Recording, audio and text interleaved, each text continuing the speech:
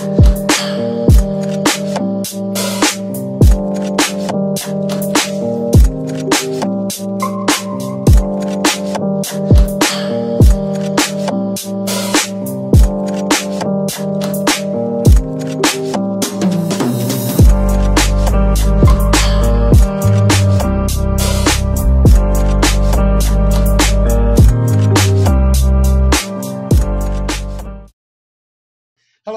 thanks for joining us right here on Plushwork. And today we've got the one and the only Miss Freda Payne. Freda Payne is an American singer and actress.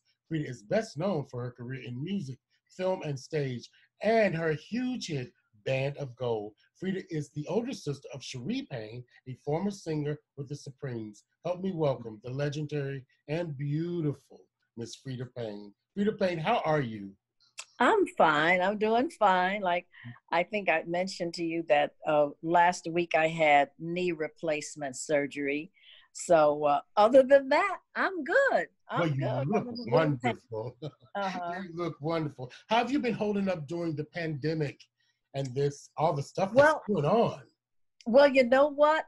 I took it serious and I did yeah. stay in a lot. You know, the only time I went went out was to go to the supermarket uh-huh. or go to Costco. And then there's uh like I go to a therapy class, you know, for my, you know, to work to have workout for my health. Uh-huh. And uh, that's about it. So I mean, I didn't do any socializing, yeah, uh, or anything like that. I just stayed in the house and basically and uh, watched a lot of TV, lot of TV. And, and, movies and and reading, you know, and uh-huh. and so I just, you know, I'm I'm, I'm blessed to to have a lovely home. Mm-hmm. I'm not in an apartment, you know. I don't have to mm-hmm. worry about the rent, but I do have to worry about the mortgage payment, you know. Right, I mean? right, right, right. And, and, the water and the power and the gas and right. And there's, you know, every all the other little things that you know, insurance payments like everybody, like a lot of people, like everybody else. Yep. Yeah. So uh, I'm comfortable though right now. I'm pretty right. comfortable. Mm-hmm. I saw in another interview because you know I always go and do my research and look at stuff. And in another interview, your sister Cherie called in, and I think she just called in a few moments ago. You guys must be very close. We are. We are close. We are. We've always been close. Mm-hmm. As a mm-hmm. matter of fact, uh, she lives out here too. She's she's like about a 15 minute drive away uh-huh. from me. Mm-hmm. Wow, that's great. Who sang who who sang first? Was it you or Cherie? It was Scherrie. Sherry, was, Sherry. was it? Sherry. When we were kid, when we were kids, you see, when I was a kid, up until I guess um, I was 12 or 13, I was extremely shy. I was painfully shy. Wow. And Scherrie was the opposite.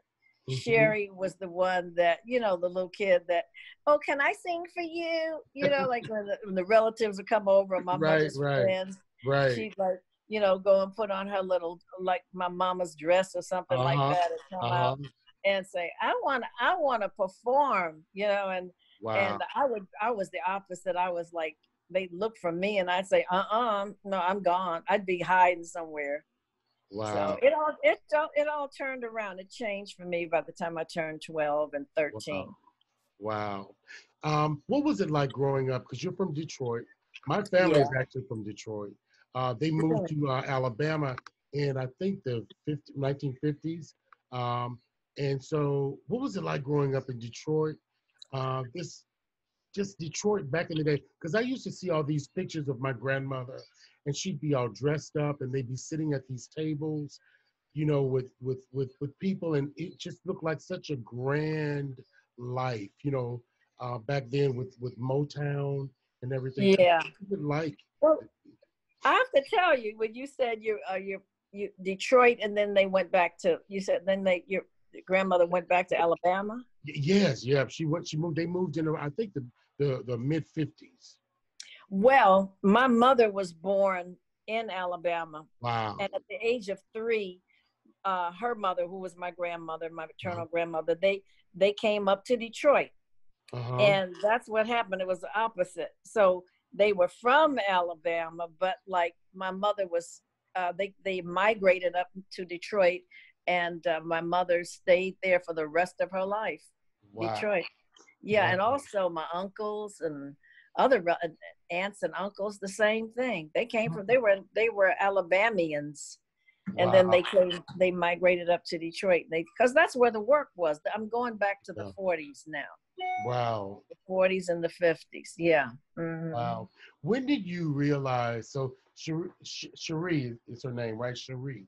Sherry. Sherry. Sherry. Yeah. Like the wine, Sherry. Oh, yeah, Sherry so wine. Yeah. So Sherry sang first. When did you realize you had something to offer that it was in you to entertain us? I was well. It was uh, we we uh, my sister and I took piano lessons, uh-huh. and and we started taking. I I was like about six years old when I started taking piano lessons, and then Scherrie started after that. Scherrie's two years my junior. Mm-hmm. And I, this was I was 12, and my uh, p- piano teacher was getting uh, all her students ready for the next piano recital, which was uh-huh. an annual thing. And so she said, she looked at me and she said, Freda, you know what? I, I want to put together an ensemble of six singers. And there's a song I want to do. It's called Spring is Bust, Bursting Out All Over. And I want to test your voice mm-hmm. to see if you're good enough to be in the group.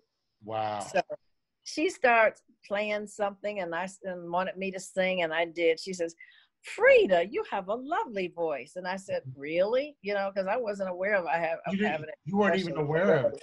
No. Oh. And she said, she says, I want you to do a solo. Mm. So she gave me a song to do as a solo. And at the recital, after it was over, all my mother's friends, they were like they were like all excited. Like, oh, we didn't know that Freda could sing because they all they knew was about Scherrie. Mm-hmm. And so I start I start being invited to different events to sing. You know, like like banquets, teas and stuff like that. Wow. And then when I was 13, I started to enter talent contests in and around Detroit. And I entered a talent con I went to audition for a talent contest that was uh, on TV and it was called Ed McKenzie's Dance Hour. Uh-huh. Ed McKenzie was like Detroit's Dick Clark American Bandstand. Uh-huh. And so it came on every Saturday afternoon and it featured a soup, let's say a star performer who was performing at one of Detroit's local clubs. Like you'd have like the Flame Show Bar, and then you'd have like the Elmwood Casino that was over in Windsor, right across the river, and then you'd have the Rooster Tail, mm-hmm. and there were other clubs. Detroit had a, a few, quite a few clubs, so I um uh I, I won I got I got to to perform on the talent show, uh-huh. and they also featured. It wasn't just that they also featured dancing, just like American Bandstand. They had these little young teenage couples all these little white couples dancing. Mm-hmm. And uh, the talent show consisted of just four acts. So, wow. so, and then of course they had, a, like you say, a headliner, whoever mm-hmm. is appearing in Detroit. And that time it was Sammy Davis Jr. who mm-hmm. was the mm-hmm. headliner. Well, I won the talent, the talent contest. Isn't that something? Wow. I won it. And six months later, they called me back to participate, to do it again. I guess they were wondering if I, if, if that was a fluke or whatever. But anyway, I won the second time. And uh, from that point on, people start hearing about me and and they would uh, actually book me. Like for instance, I sang. I I was asked to sing with a band in Detroit. It was the Jimmy Wilkins Band Orchestra. Mm-hmm. Uh-huh. Jimmy Wilkins, and uh, Jimmy Wilkins was like Detroit's version of Count Basie. Mm-hmm.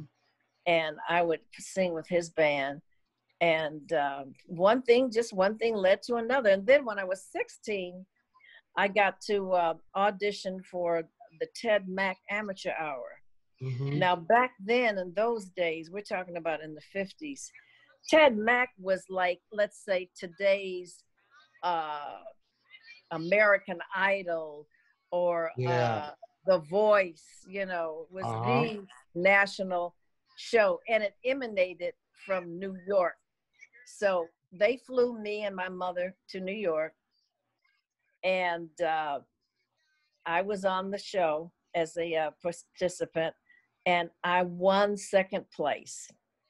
I won second place. Wow. But and then about two weeks later, I'm looking, I'm somebody said, Girl, you're in jet. And I said, What? I couldn't believe it. Mm-hmm. It was like, what I haven't done anything to be in jet. And they they it was a write-up. It was like about a three-page write-up about me being on, on Ted Mack Amateur Hour. Because back then, Jet would mm-hmm. report any any African American uh, artist, whatever if they were doing something on TV or in the movies, they would write about it, you know, because mm-hmm. that was that was it. They I remember I have to say this. Uh, a friend of mine, Quincy Jones, back wow. then I knew him in the 60s. I knew uh-huh. Quincy. I met Quincy when I was 18, and he used to refer to the to Jet magazine as the Black Dispatch. he said, I said, why you call it that? He said, because that's the only way we're going to know what black folks are doing. Isn't that amazing? Look, look it's at, amazing. It's amazing. It's a, look at what look at how we've grown. Wow. I know. Look how we've yeah. grown. We've yeah. come, like they say, we've come a long way. a long way. As, as they say too, look at God. Look yeah. what God can do. but you do. know what? They say we we have come a long way. We have, we have. oh my God. Yeah. 50, 40 years ago, if you had mentioned uh, oh, like if somebody told me there would be an Oprah Winfrey, yeah, and and her uh, uh, becoming uh, a first female, you know, woman a billionaire, a president that we would have in my life, and the black, black president.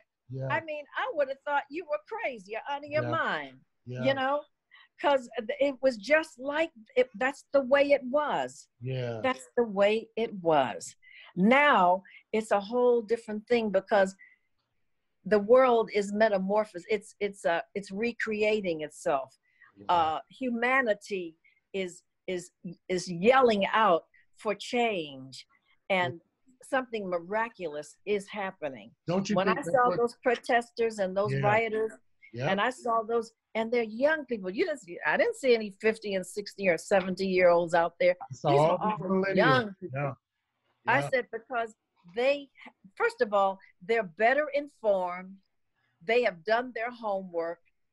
They know what's going on and they see what's happening and they're saying hell no i'm not going to take it no more. No more.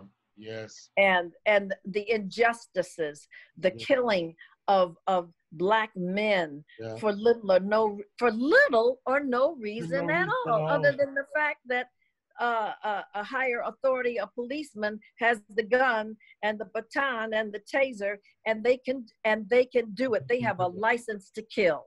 Yeah, that's what it is. It's mm-hmm. it's a sad thing, and it's a sad world. Which brings us to this event that you guys are doing for um, on Friday, which is so, you know, it's it's so important even in today with what's going on, you mm-hmm. know, that's going on in the world with with black men being killed, mm-hmm. black women being killed, and even in the trans world, trans people are being killed and, and right homeless. So the event that you guys are putting on, um, why are you so passionate even about?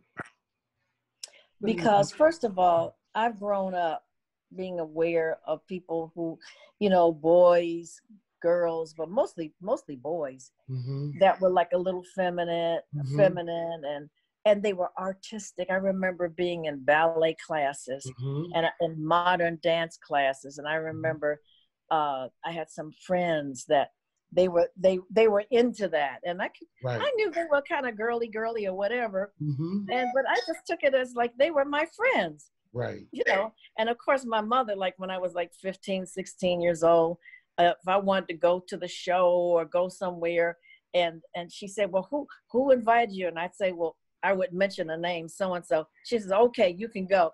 And it would be somebody that was like on the feminine side, you know uh, what I mean? Right, right. And because she knew nothing was going to happen. Happen, right? You know. And back yeah. then, my mother was scared because I developed early. I was 12 years old, and I I wore size 34C bra. Uh huh. I was fully mm-hmm. developed, developed. and the size, and yeah, really, I developed early. Mm-hmm. And so my mother was scared to death that mm-hmm. even though she had given given me the talk, right, you know, the talk yeah. about the birds and the bees, she was still scared to death that I would come up pregnant. You right. know, when I'm oh, like at the age of 14 or 13 or something yeah. like that. Yeah, yeah. Mhm. Now you have those things happen. right. Now you have a daughter as well, correct? No, I don't. I have a son. Oh no. I have a son, Gregory Okay. Abbott Jr. Gregory Abbott Jr. That's right. That's right. Mhm. Now, is he a singer? Or does he sing? No, he doesn't sing at all. He's not interested in that. He wants. He says, "Mom, I want to be uh, uh, behind the camera. I don't want to be in front of the camera." Okay. His dad, now you know, his dad turned out to be a Uh, a, a, a singer and and had a huge hit record back in the Absolutely. eighties. I remember Gregory Abbott. Shake you down, yeah. absolutely. Yes, I remember Mhm. that song clearly. Um, so with this event that's going on on Friday and everything that's going on in that community with that world, what you're doing, um, there's so there's even racism. I was talking with the host. Uh, there's a lot of racism even in that community, which I was pretty much shocked because you're talking about two minorities Right. you know, and which I couldn't quite understand. How is it that one minority could be against another minority? You know, I was I, I remember have uh, having picked up on a conversation Mhm. with um, with African American uh, gay men, and they'd say, "Oh no, honey, you know, you the some of the white." Even though you'd say, "Well, this white guy or this uh, Asian guy, uh, they they should be on the same on the same page," Mhm. but sometimes it's not. It's Mhm. still the race thing. Still the race thing. Yeah, Mm-hmm, Wow. that's amazing. Well, let's move to one of my the key reason uh, that we're here also is that incredible song that you put out, "Band of Gold." How Yeah. did that- how did that wonderful song come about? Well, I had, you know, I was signed. I was signed with a label called Invictus, Uh huh. and uh, in Invictus, that was Holland Dozier and Holland. They were Holland, the. Motown, the Motown guys, Yes. and so they were used to having hits, and they had signed me, and I was like one of the main performers that they had Uh-huh. signed. It was me, Chairmen of the Board, uh, the Honey Cone. They signed them, and yeah. and there were other people. Um, so they they were looking for a song. This was my this would would have been my first hit, and they were looking for a song to put out on me. They recorded many songs, uh, and then the first single they put out was called "The Unhooked Generation," Mm-hmm. And I recorded and they put that out, and and I always liked that one too because the track was jamming Mhm. and then they put, but it didn't didn't quite you know do what they wanted you know Mhm. so then a few months later they put out band of gold it Mm. was a night it was february of 1970 and band of gold was the one that like zoom you know Wow. When you recorded that song, did you have an inkling or a feeling that it was going to be a hit? No Really? because you know what i i felt that everything i recorded because i recorded uh, they had me doing a lot of songs you know Mhm. I, I felt that everything was good. I thought that Un- Unhooked Generation was going to be a hit. uh-huh. I guess they thought it too. You know. wow. Hello. Hey, or I'm Okay, here. I'm back. Yeah, I'm it blacked out for a minute, but that's okay. We'll edit. We'll edit all that out. Well, okay. well, um, when you um before we close, when you look back on your career and all the wonderful things that you've done in music, in film, and on Mhm. stage, and just everything, when you look back, because you've had an incredible career, what Yeah. what are you most proud of? Oh my God. Well, I'm proud of getting two gold records with Invictus. I'm proud of that. And I'm proud of do it playing the role of uh um this is my acting side. I'm into Yes. theater as well. Yes. I, I'm proud of having uh, played the role of Miss Ella Fitzgerald Mm, in a play called Ella Fitzgerald, First Lady of Song. yes. And uh, I was able to do that play at least, um, it was like three, three or four different times. Mhm. Once in in um, New Brunswick, New Jersey, and then Alex, Alex, Alexandria, Virginia, Mm. at the Metro Stage Theater. That's And, right uh, down the that- street from where I am now. Really? Because Yeah, I'm there was the metro stage. I was Wow. When did you? yeah, I did. A, it was like an eight week run. I was there Oh. for eight weeks, and believe me, it was everybody came to see me. When was Uh, Freda? When was this? This was uh 2014. Oh, I okay. I- 2014. I hate I missed that. Yeah. Debra Lee came from BT. She came out to see me with her Mhm. friend Linda Green, and uh, Dick Gregory came to see me because he's a friend. He always comes when I'm in that area. He'll come to see Uh-huh. my shows. Mhm. And uh, Julian Bond. It was like Uh-huh. it was so nice. And I, I think we, I think we, we. They said that I did the best business of Mhm. that eight week run. They said I did the best business. And then the last time I did it was in 2018 Uh-huh. and that was um, in Wilmington, Delaware, at the Delaware Theater. Wow. And I did it there. And I had, oh, and I got a rave review in the Washington Post. Wow. That's amazing. I guess it's kind of hard for you to imagine me doing that, you know. Yeah. But uh, I've seen some of the reviews and some of the interviews as well. Um, I guess you can hear my dog barking. I, I, sure can. I can, but he's fine. He's fine. Yeah. Um, I I um I, I got some of the um I I saw some of the interviews uh, on that and some of the um the writings on that as well. What do you Uh-huh. um you also uh, um you had a wonderful album that you put out a few years ago. Uh huh. And On of- Mack Avenue, that one, Yeah, Come Back to yes. Me Love. Yes, yes. Well, you Yeah. know what? I've got some material. This hasn't been released. It's it's in the can right now.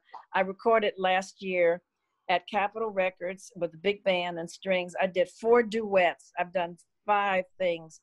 Uh, one of the duets was with Johnny Mathis, Mm-hmm. and then there was Kenny Lattimore, Mhm. Bridgewater, Mm, and Kurt Elling. wow. And so we're gonna add some we're gonna throw some more songs into this so you know so i have at least about nine or ten songs Okay. On that's a new album. al- a new album. yeah that's a new a new one a new yeah album. Gotcha. yeah Well, uh-huh. we can't wait to hear it. Have you already titled it yet? no i haven't titled it yet i Okay. know what to title it Okay, wonderful. Well, i'm I- still here oh i don't know Oh, I like. Oh, I love that. I'm still here. I'm still here Wonderful. Mhm. Because you know what? You are. I think that's why it was such an incredible feeling of being overwhelmed to interview you. And when I picked you, um, you're an icon. Like I remember growing up, there was there was you, Diana Ross, there was the Supremes. There were so many beautiful women, you know, back Mhm. then representing beauty and elegance and Yeah. style and poise. And you guys did it so well. Um, and, and and that's why I'm here to celebrate celebrate you and your legacy. oh wow Yeah, man. well i appreciate that Absolutely. So I want to thank you so so so so much for this interview. well you're welcome i just i just want to continue to do it make people happy Absolutely. Well, thank Mhm. you again. Is there anything else you want to add to this interview before we leave? Well, I just I'm just glad to be here and and to speak with you and Absolutely. oh I I did talk talk about that and of course I want to continue to perform and Absolutely. and maybe one maybe one day I might do a movie about Ella Fitzgerald who knows that would be incredible. That would be Yeah. incredible. Well, I want to say thanks to Jason for um for allowing this interview to take place and and also putting this event on because if he hadn't put this event oh Jason's been he's been incredible yes yes he's awesome. yeah I've known him a long time he's he's something Absolutely. Well, thank you again so much for this interview tonight.